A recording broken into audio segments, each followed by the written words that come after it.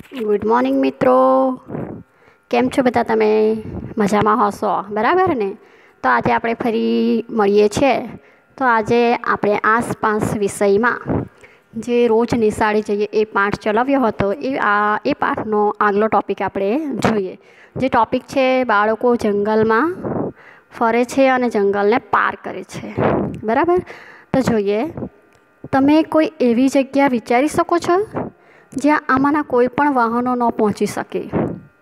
આપણે આગલા ટૉપિકમાં એવું જોયું હતું કે શાળાએ જવા માટે તમે કેવી રીતે જાઓ છો એમ શાળામાં? કે કોઈક શાળામાં જાય, સાયકલ લઈને જાય, તો કોઈકને રિક્ષામાં જવું પડે કોઈકે બસમાં જવું પડે, તો કોઈક પોતાની સાયકલ લઈને જાય. આ રીતે શાળામાં પહોંચે છે, બરાબર ને? એટલે કે વાહનોથી જાય છે. તો એવી તમે કોઈ જગ્યા જોઈ છે કે જ્યાં કોઈ વાહન જ ન હોય? શું? વાહન જ ન હોય, બસ, રિક્ષા, સાયકલ એવું જઈ જ ન શકતું હોય એવી જગ્યાની વાત કરવાની છે. તો એવી કોઈક જગ્યા તમે વિચારી શકો? હા? તો આપણે જોઈએ. બાળકો જંગલ પાર કરે છે. જે બાળકો જંગલમાં રહેતા હોય છે ને, એ બાળકો જ્યારે શાળાએ જવાના હોય, તો એ લોકોએ જંગલમાંથી જવું પડે છે. ક્યાંથી જવું પડે છે? જંગલમાંથી જવું પડે છે. તો આપણે જોઈએ. અમે ગીરના જંગલમાં રહીએ છીએ. આ બાળકો શું કહે છે કે એ લોકો ક્યાં રહે છે? તો ગીરના જંગલમાં રહે છે. અમારી શાળામાં જવા ઘર જંગલમાંથી પસાર થવું પડે છે. જંગલમાં એટલી શાંતિ હોય છે કે આજુબાજુથી આવતા વિવિધ પશુ પક્ષીઓના અવાજ સાંભળી શકાય છે. અમે જંગલમાંથી પસાર થઈ શાળામાં જઈએ છીએ. હવે એ બાળકો જંગલમાં રહે છે. બરાબર? હવે જંગલમાં રહે છે. એ લોકોનું નિવાસસ્થાન જ ત્યાં છે જંગલ. એટલે સ્વાભાવિક છે કે એ લોકો શાળાએ જવા માટે જંગલમાંથી જ જવું પડે, જંગલમાંથી જ રસ્તો હોય છે. બરાબર ને? હવે જંગલમાંથી જાય, એટલે વાતાવરણ કેવું હોય, એકદમ શાંત હોય. કોઈ જ વાહન એવું તો જઈ ના શકે, એટલે વાહનોનો અવાજ આવવાનો તો કોઈ સવાલ જ નહીં ઊભો થાય. બરાબર ને? તો એ લોકો જંગલમાંથી જાય. હવે જંગલ છે એટલે જંગલમાં શું હોય? પશુ પક્ષીઓ હોય ને? એટલે પશુ પક્ષીઓના અવાજ સંભળાય. બધા પશુ પક્ષીઓના એ લોકોને અવાજ સંભળાય. કેમ કે વાતાવરણ શાંત હોય છે એટલે પશુ પક્ષીઓના અવાજ એ લોકો ખૂબ જ સરળતાથી સાંભળી શકે છે. બરાબર ને? હવે નીચે જુઓ, સવાલ આપ્યો છે કે તમે કયા કયા પશુ પક્ષીઓના અવાજથી ઓળખી શકો છો? હવે એવા કયા પક્ષી છે કે જેના અવાજથી તમે ઓળખી શકો છો? દાખલા તરીકે કાગડો બોલે કા કા કરે એટલે તમે ઓળખી શકો કે હા, કા કા કોણ કરે? તો કાગડો તમે તરત જ જવાબ આવશો કે હા ભાઈ કાગડો કા કા કરે? એવા બીજા કયા પક્ષીઓ છે કે જે અવાજ કરે? એટલે તમને ખબર પડી જાય કે આ આ પક્ષીનો અવાજ છે. બરાબર ને? હવે કોયલ બોલે કે કુ કુ કરે? એટલે તમે સાંભળો. તો હા, તમને પૂછવામાં આવે કે આ કયા પક્ષીનો અવાજ છે? એટલે તમે તરત જ જવાબ આપશો કે કોયલ. તો તમારે નોટ, તમારી નોટબુકમાં એવા કયા કયા પક્ષીઓ છે કે જેને તમે અવાજથી ઓળખી શકતા હોય? એવા પક્ષીઓના તમારે નામ લખવાના છે. બરાબર? આગળ જોઈએ. જંગલમાંથી પસાર થતાં શું કાળજી રાખશો? હવે સ્વાભાવિક છે કે જંગલ છે એટલે કાળજી તો રાખવી જ પડે. બરાબર ને? કેમ કે જંગલમાં તો ઘણા બધા હિંસક પશુઓ પણ રહેતા હોય છે. એટલે ઘણી બધી કાળજી રાખવી પડતી હોય છે. દાખલા તરીકે હવે જંગલમાંથી લોકો પસાર થતા હોય. કદાચ વાઘ, સિંહ જેવા હિંસક પશુઓ આવી જતા હોય તો એટલે એ બધી સાવચેતી રાખીને એ લોકોએ શાળામાં જવું પડતું હોય છે, બરાબર ને? ઓકે. હવે આગળ જોઈએ આપણે. પથરાળ રસ્તો ટોપિક છે, પથરાળ રસ્તો. જુઓ, તમને ચિત્રમાં દેખાતું હશે કે આ પથ્થરવાળો રસ્તો છે અને બાળકો બધા એ પથ્થરવાળા રસ્તામાંથી શાળાએ જવા માટે નીકળ્યા છે. દેખાય છે ને? ઓકે. ચાલો હવે આગળ જોઈએ. અમે ડુંગરની ટેકરીઓ પર રહીએ છીએ. રસ્તાઓ પથરાળ અને આડાઅવળા છે. કેવા છે રસ્તાઓ? પથરાળ અને આડાવળા પથરાળ એટલે આખા રસ્તામાં પથ્થર હોય. એને પથરાળ કહેવાય. અને આડાઅવળા એટલે આપણે સિટીમાં કેવું હોય? રસ્તા કેવા? સીધે સીધા સીધા અહીંયાથી નીકળો એટલે સીધો રસ્તો જાય. નહીં કે આમ કે ખૂણે ખાંચરે જવાય. બરાબર? તો આ આડાઅવળા છે. ઘડીકમાં આ બાજુ આડું જવું પડે કે જમણું જવું પડે, વાંકું વળવું પડે, એ રીતે આડાઅવળા છે. બીજા માટે આ રસ્તાઓ મુશ્કેલ ભર્યા લાગે. હવે આપણા જેવાને ત્યાં જવું કે પથરા ડુંગર ડુંગરાળવાળા વિસ્તારમાં, તો આપણાથી ના જવાય. આપણને બહુ અઘરું લાગે મુશ્કેલ ભર્યું લાગે. અને એ લોકો માટે ખૂબ આસાની, કામ, કારણ કે એ લોકો દરરોજ જતા હોય છે. એટલે એ લોકો સરળતાથી એ રસ્તો પાર કરી શકે છે. હવે એ શું કહે છે એ લોકો? બીજાઓ માટે આ રસ્તા મુશ્કેલ ભર્યા લાગે છે. પરંતુ અમે સરળતાથી ઉપર નીચે જઈ શકીએ છીએ પથરાળ છે, ટેકરીવાળા રસ્તા છે, ઉપરથી નીચે ઉતરવાનું છે, પાછું જ્યારે ઘરે જાઉં ત્યારે પાછું નીચેથી ઉપર જવાનું છે એ લોકો એકદમ સરળતાથી જઈ શકે છે, કારણ કે દરરોજનો મહાવરો થાય છે એ લોકો માટે દરરોજનું એ લોકોનું કામ છે. જ્યારે આપણને કીધું હોય કે જાઓ ભાઈ, એક દિવસ જાઓ તો આપણે તો થાકી ગઈ આપણે તો જતાં બહુ જ વાર લાગે આપણે, બરાબર ને? હવે શાળાએ જવા માટે આવા રસ્તાઓનો એ લોકો ઉપયોગ કરે છે. શેનો ઉપયોગ કરે છે? આવા પથરાળ રસ્તાઓનો. બરાબર? હવે આપણે આગળ જોઈએ. જો ચિત્રમાં તમને બાળકો દેખાય છે, બરાબર? એક જે બાળકી છે નાની, એ બાળકી એક ખુરશીમાં બેઠેલી તમને દેખાય છે. બરાબર? દેખાય છે ને? હા. એ ખુરશીને શું કહેવાશે? વ્હીલચેર. પૈંડાવાળી ખુરશી છે. દેખાય તમને? હા. તો એ વ્હીલચેર છે. શું છે? વ્હીલચેર બરાબર? હવે શું કહે છે બાળકીથી આપણે જોઈએ. જુઓ, મારું નામ નિધિ છે. હું ચોથા ધોરણમાં ભણું છું.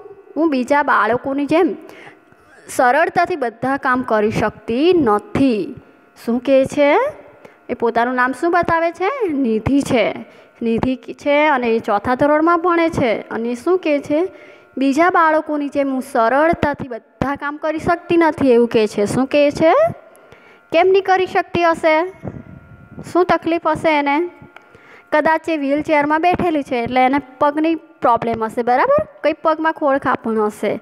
એટલે બીજા બધા બાળકોની જેમ, બીજા બધા બાળકો કેવા ચાલીને શાળાએ આવી શકે છે? તો એ જાતે શાળાએ ચાલીને આવી શકતી હશે નહીં. કેમ કે વ્હીલચેરમાં બેઠેલી દેખાય છે આપણને. એટલે તો આગળ જોઈએ. એ શું કહે છે? મારા પગ જન્મથી જ કામ કરતા નથી. શું પ્રોબ્લેમ છે એને? કે એના પગ જન્મથી કામ કરતા નથી, એટલે એક્ટિવ નથી ચાલવા માટે. પહેલાં શાળામાં જવાની ખૂબ તકલીફ પડતી હતી. હવે એના પગ એક્ટિવ નથી, ચાલતા નથી, કામ કરતા નથી. એટલે સ્વાભાવિક છે કે એ ચાલીને શાળામાં આવી શકે નહીં. એને ભણવું છે એટલે એ કોશિશ તો કરે છે, પણ એ પગની તકલીફને લીધે શાળામાં આવી શકતી નથી. પણ એ કોશિશ કરે છે ખૂબ તકલીફ વેઠીને પણ શાળામાં આવતી હતી. ને હવે શું કહે છે જુઓ, મમ્મી મને ઉચકીને શાળાએ મૂકવા આવતા હતા. ત્યારે શું થતું હતું, એની મમ્મી એને ઉચકીને શાળાએ મૂકવા માટે જતા હતા. પરંતુ હવે હું જાતે જ શાળામાં આવું છું. મને પેંડાવાળી ખુરશી, એટલે કે પેંડાવાળી ખુરશીને આપણે અંગ્રેજીમાં કહીએ છીએ ને વ્હીલચેર એ આપવામાં આવી છે. જેના દ્વારા હું નિયમિત શાળાએ જાઉં છું. શું કહે છે? પહેલાં એને આ પગના પગની જે તકલીફ હતી એના કારણે એને કેટલી બધી મુશ્કેલીઓનો સામનો કરવો પડ્યો હતો. બરાબર ને? કે એને પોતે જાતે શાળામાં જઈ શકતી નહોતી એની મમ્મીએ એને ઉચકીને શાળાએ લઈ જવું પડતું હતું. પણ પછી શું થાય છે? એને વ્હીલચેર આપવામાં આવે છે. પૈંડાવાળી ખુરશી આપવામાં આવે છે. તો એ ખુરશી વ્હીલચેરમાં બેસીને એ શાળામાં આસાનીથી સરળતાથી જઈ શકે છે અને દરરોજ હવે નિયમિત શાળાએ જાય છે. બરાબર? તો હવે નીચે જુઓ, એક કોષ્ટક આપેલો દેખાય છે તમને. જે લોકોને શારીરિક ખામી છે, તેમને કેવી તકલીફ પડતી હશે? શારીરિક ખામી એટલે ખબર ને? આપણા શરીરમાં જે કંઈ ખામી હોય, હાથ, પગની કે આંખની કે કાનની જે કંઈ ખામી આપણા શરીરને લગતી જે ખામી હોય, એને શારીરિક ખામી કહેવાય. બરાબર? તો આ કોષ્ટક તમને આપ્યો છે, બરાબર? જુઓ, ભૂરી લાઈન જે છે, એમાં ખામી લખી છે. ખામીની અંદર કઈ ખામી છે? તો અપંગ, અંધ અને મૂક બગીર. હવે બાજુનું જે કોષ્ટક છે, એમાં જુઓ, એમાં પડતી મુશ્કેલી. હવે અપંગ હોય તો કઈ કઈ મુશ્કેલીઓ પડી શકે? તો એ મુશ્કેલીઓ લખવાની છે. તો અપંગ એટલે આપણે અહીંયા જોયું કે નિધિ જે બાળકી હતી, એને કેવી મુશ્કેલી પડતી હતી? તો એને પગની મુશ્કેલી હતી, બરાબર? પગની તકલીફ હતી. તો એના કારણે એને ચાલવામાં તકલીફ પડતી હતી ને? કદાચ કોઈને હાથની પ્રોબ્લેમ હોય તો લખવામાં પ્રોબ્લેમ તકલીફ પડે. આવી બધી મુશ્કેલીઓ પડી શકે છે. હવે છે બીજી ખામી છે અંધ. અંધ એટલે આંધળા હોવું, જે આંખે દેખી ના શકે, એને કહેવાય અંધ. તો અંધ હોય એ વ્યક્તિને કેવી મુશ્કેલી પડતી હશે આપણે વિચારી શકીએ.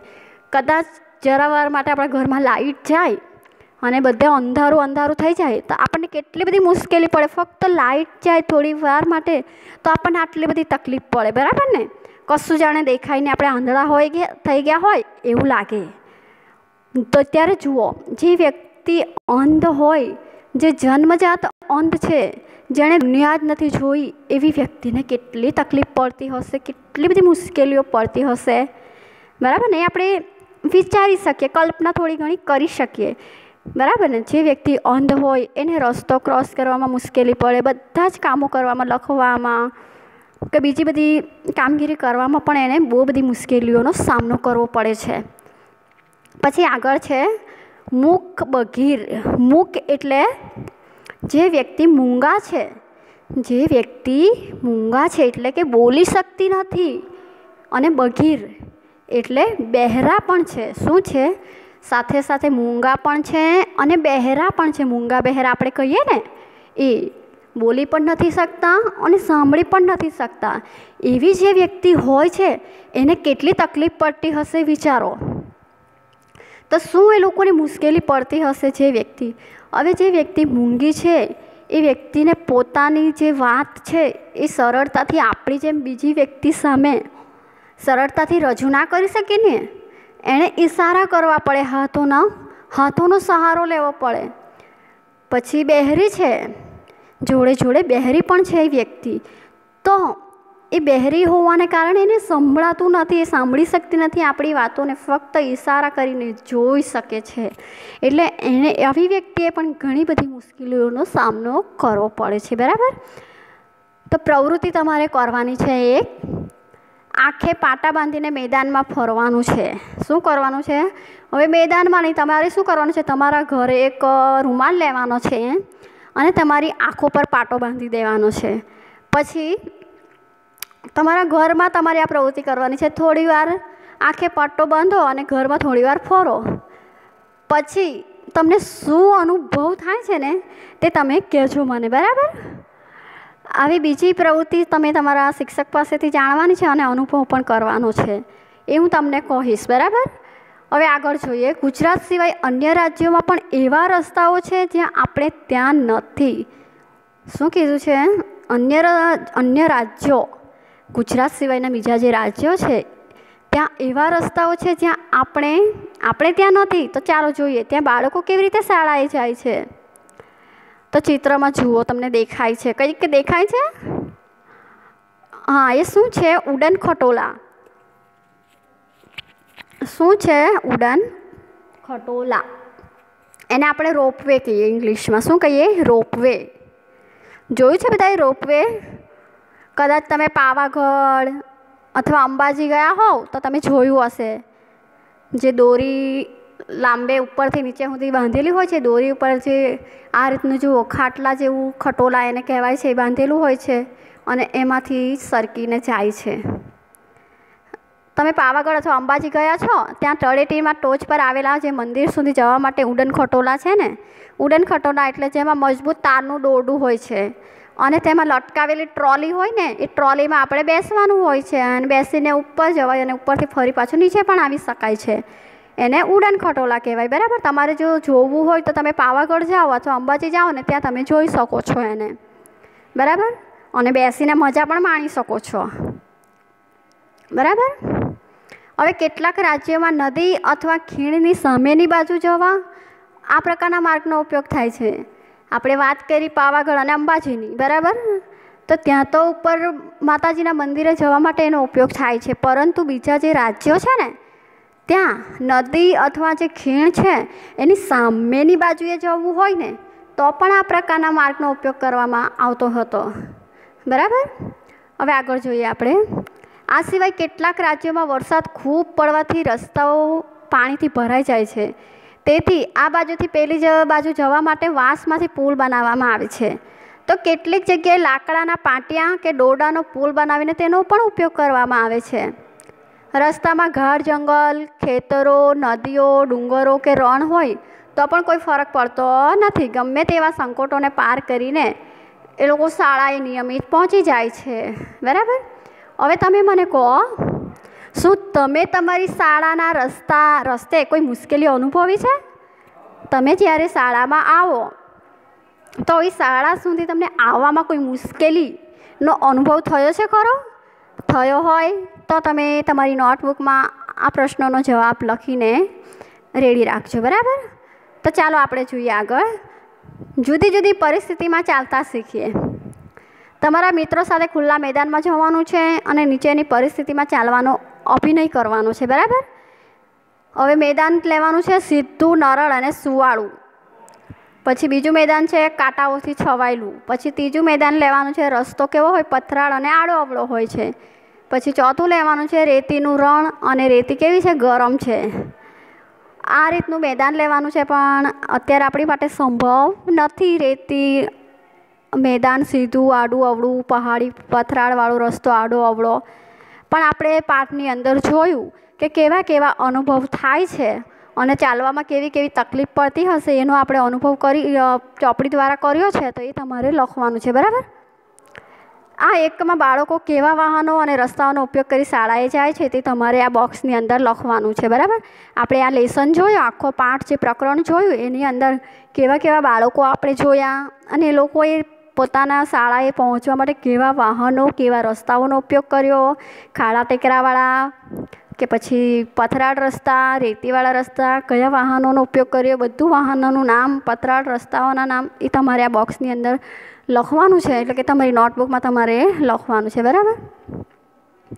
અહીં આપણે આ ચેપ્ટર પ્રથમ ચેપ્ટર જે છે, રોજ નિશાળે જઈએ એ પૂર્ણ કરીએ છીએ અને ફરી પાછા નવા ચેપ્ટર સાથે મળીશું. ત્યાં સુધી બાય બાય